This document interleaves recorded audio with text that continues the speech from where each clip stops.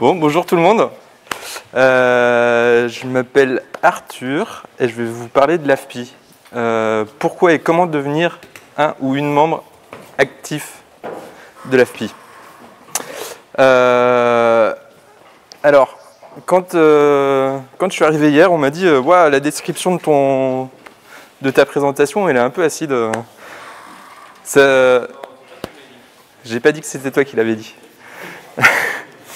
Euh, et donc, euh, effectivement, en me relisant, je, me suis rendu compte que c'était euh, peut-être un petit peu tristoun.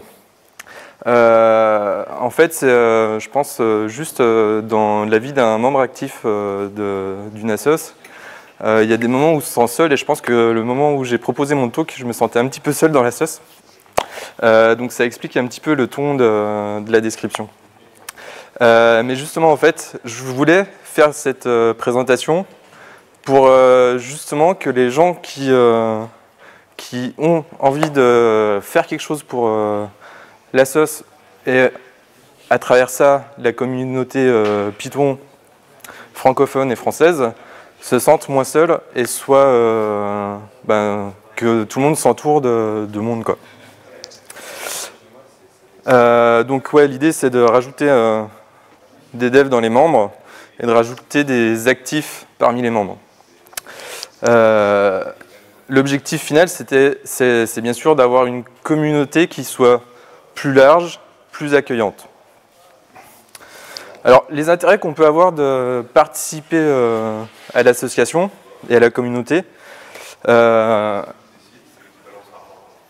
en étant ici, vous avez déjà des raisons de participer à la communauté.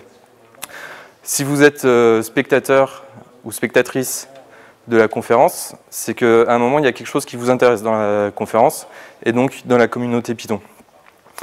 Euh, donc, je vous invite euh, chacun à, sortir un petit peu les raisons pour lesquelles vous êtes ici. parmi celles que j'ai identifiées, il y a déjà apprendre.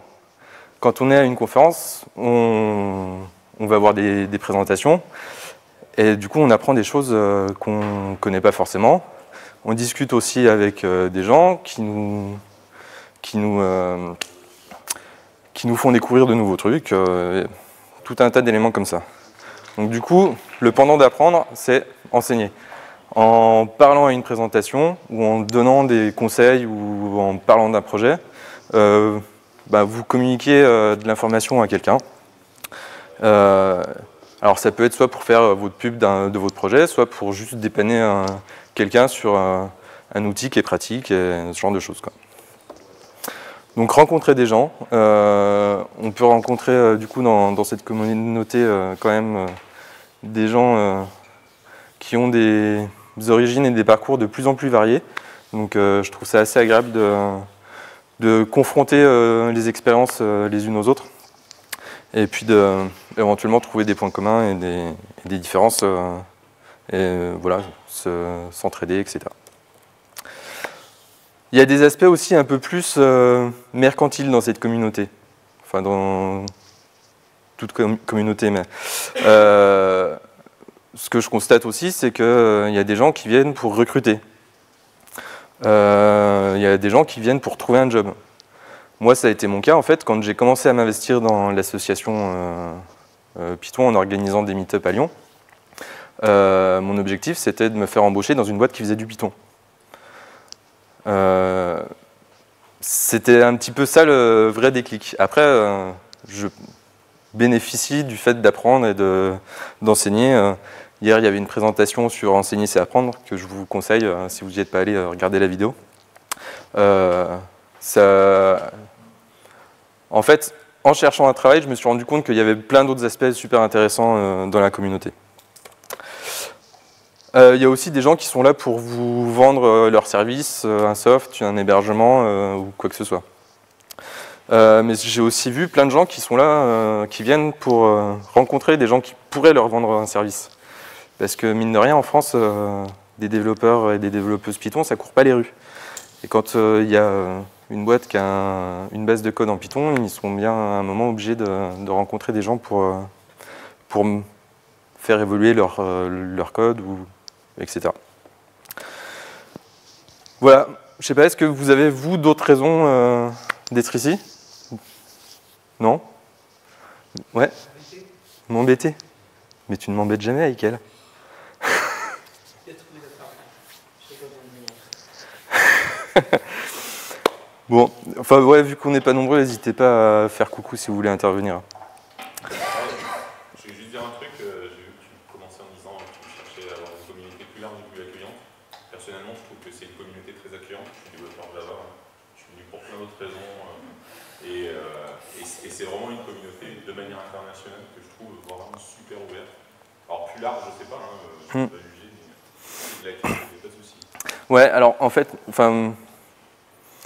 moi mon idée c'est d'inspirer un, petit peu euh, l'organisation de, choses à droite à gauche. Donc euh, effectivement, on essaye de faire ce qu'on peut pour être accueillant. Et après, c'est pas toujours le cas et c'est pas toujours évident. Donc il y a toujours des améliorations à faire sur ce côté-là.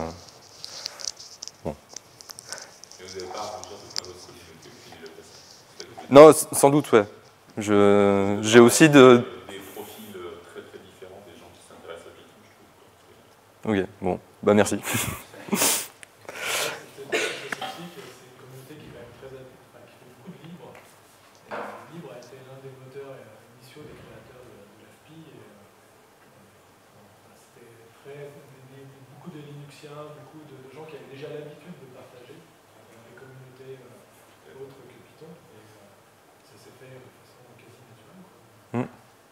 effectivement. Euh, du coup, je vais continuer. Donc, qu'est-ce qu'on peut faire pour, euh, faire vivre cette communauté? Alors, euh, il y a des choses très simples, c'est faire une présentation aux événements. Alors, bon, on se dit toujours, oui, j'ai pas le niveau, oui, je maîtrise pas assez, mais en fait, tout ça, c'est faux. Hein. En fait, juste le fait de parler de votre expérience, si vous l'avez, ce que vous avez vécu, il n'y a personne qui pourra vous dire que, que c'est faux. Enfin, donc euh, c'est de toute façon authentique. Euh, et au pire, vous dites, euh, ben ouais, je m'étais pas. Enfin, vous pouvez avoir tort, vous pouvez faire des erreurs. Et je pense qu'il y a à peu près pas grand monde qui vient dans la communauté pour dire toi t'es bête et, moi je fais mieux que toi. Il y a quelques gens qui le font, mais on essaye d'encadrer ça. En tout cas, si ça vous arrive, n'hésitez pas à dire bah, t'es pas très gentil. Ouais.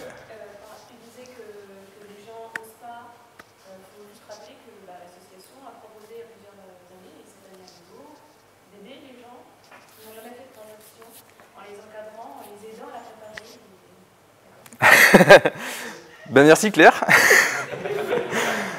Donc euh, effectivement, on peut, euh, dans la sauce, il y a déjà des gens qui ont de l'expérience qui peuvent aider des gens qui ont moins d'expérience. Alors là, ce que je voulais dire sur le tutorat, c'était euh, ça pouvait être aussi bien dans l'apprentissage du code que dans euh, l'apprentissage sur euh, organiser un événement local ou, ou faire une présentation à, une conf ou un meet-up. donc organiser une rencontre locale, j'ai fait une présentation à la conférence il y a deux ans sur le sujet. globalement, c'est beaucoup moins de travail que ce que beaucoup de gens pourraient penser. Euh, le plus dur, c'est de, de, trouver euh, un lieu, et après, ça peut se faire assez facilement. Donc, si vous avez envie d'organiser une rencontre locale, n'hésitez pas à faire signe, et on peut vous aider sur l'organisation. Le seul truc où il y a besoin d'être vraiment dans une ville pour organiser, c'est pour trouver le lieu. moi, je ne pourrais pas trouver un lieu à Lille, mais euh, je crois qu'il y a d'autres gens qui trouvent des lieux à Lille, donc c'est super. Euh, organiser des ateliers d'initiation. Euh, aujourd'hui, on, fait beaucoup de choses à la FI, mais il y a beaucoup de choses qui sont orientées vers des gens qui connaissent déjà Python. je pense que sur le côté apprentissage et enseignement du Python, on, on pourrait faire vachement mieux. Et donc, si vous avez des, des euh, idées ou des ressources euh, autour de l'apprentissage de Python. Euh, moi, je suis assez preneur parce que, enfin, il y a plein de choses, mais j'arrive pas à trouver un truc qui soit vraiment efficace pour des ateliers assez courts d'une demi-journée, une journée. voilà. Aujourd'hui, on en fait un peu de temps en temps. Il y a des communautés qui font des ateliers d'initiation. Mais, mais voilà, c'est encore assez peu répandu dans l'association. Organiser une conf. Alors là, ça met la barre assez haut. globalement, organiser une conf, euh, c'est quand même beaucoup de travail, il ne faut pas se le cacher. Euh, mais il y a aussi euh, beaucoup de gens qui peuvent vous aider. le tout, c'est de bien s'entourer. il faut avoir une bonne équipe pour, pour, pour s'entraider et se stimuler les uns les autres. Ce que, ce que, je dis là sur la stimulation, c'est de toute façon bien.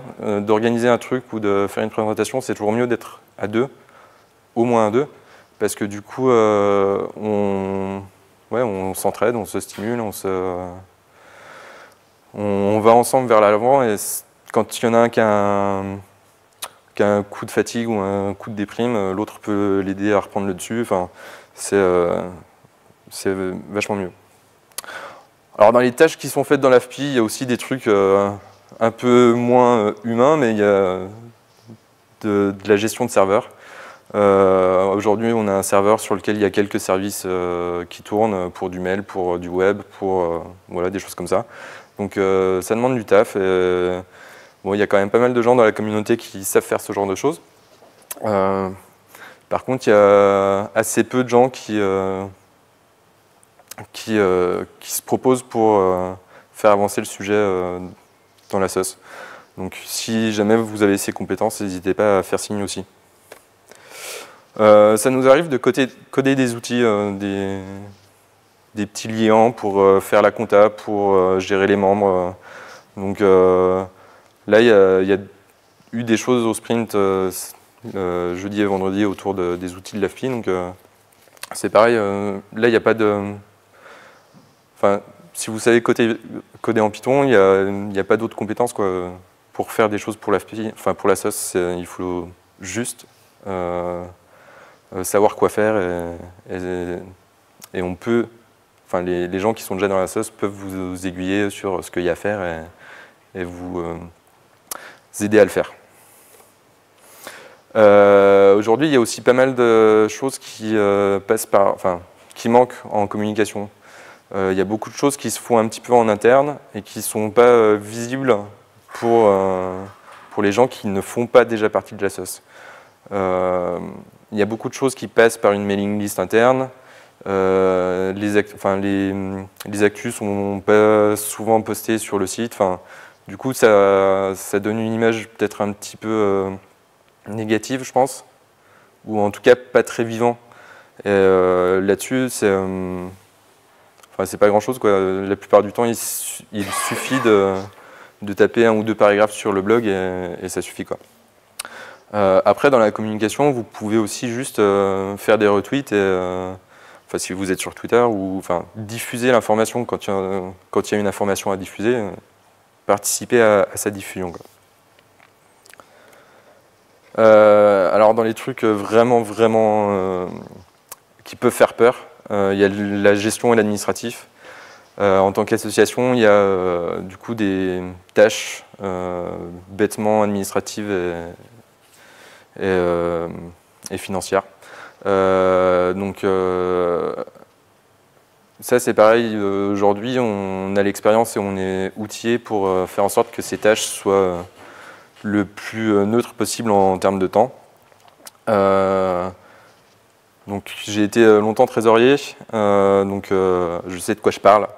maintenant on a quand même assaini la situation de la sauce et c'est beaucoup plus simple pour, pour la personne qui souhaite être trésorier euh, de, de reprendre le flambeau. Voilà, du coup, en conclusion, ce que je veux dire, c'est que euh, la lourdeur des tâches, euh, c'est inversement proportionnel au nombre de personnes qui y participent. Du coup, plus il y a de gens, plus, plus on fait de choses, on fait mieux les choses, et on fait de nouvelles choses. Donc euh, n'hésitez pas faire signe pour euh, apporter juste une petite pierre. Et ce sera déjà super. Des questions?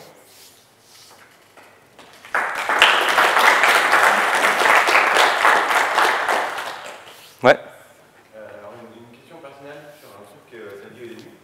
Tu dis que euh, euh, il y a longtemps, enfin, il y a quelques- plusieurs années, t'as- tu voulais euh, trouver du boulot dans une boîte qui fait du Python, donc tu as commencé à organiser des, euh, des événements euh, à Lyon. Ouais Euh, et du coup, euh, le résultat de ça, c'est que tu as créé ta propre boîte euh, qui fait du Python et tu es devenu euh, président de l'AFPI et ça te manque tout ton temps.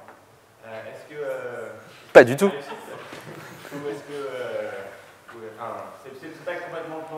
que t'en penses Euh, bah ça va.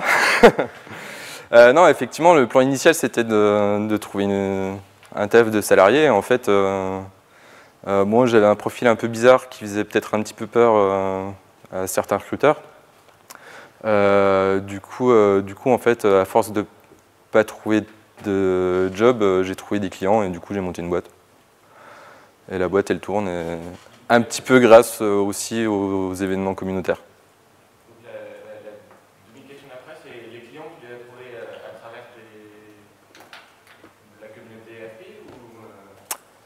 Alors mon premier client, ouais. Et après, euh, après ça passe euh, à la fois par la communauté de l'AFPI et euh, à la fois par le réseau euh, personnel et professionnel. Mais oui, euh, je pense que j'ai euh, peut-être euh, un quart de mon activité aujourd'hui qui vient de la communauté Python. ouais. Et tu n'aurais pas créé ta boîte. Bah non. Et je ferai encore du Java peut-être. C'est pas grave. Bah non, c'est bien. Enfin, ça me plaisait pas, mais euh, c'est pas une mauvaise vie.